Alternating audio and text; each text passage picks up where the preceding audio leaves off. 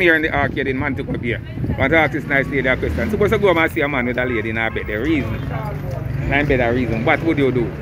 You ask her what she a doing on my bed, ask me man what you saw, what go Who you ask first? The man or the woman? The man, and then Yes. ask the woman what go on. Then suppose you say, you know, see my cousin and me the pastor and he say, yes, and live. say, true, we are going to sleep tonight, so we don't know how it go. So which party that in? I middle or the hen what? the girl. See there, and you bounce up on the lady. Me no response. She come in my yard, so she have to take what she get. Then suppose me, suppose me, him, your husband come and see you now in a bed with a man a reason. Let's keep back on a reason. And he saying, and, and why, why are they expecting to do about that? He say a man a reason. You know, so nowadays man a kill we woman. So you you know, say a go kill we. Well, I say good love in you. You know what, he kill you.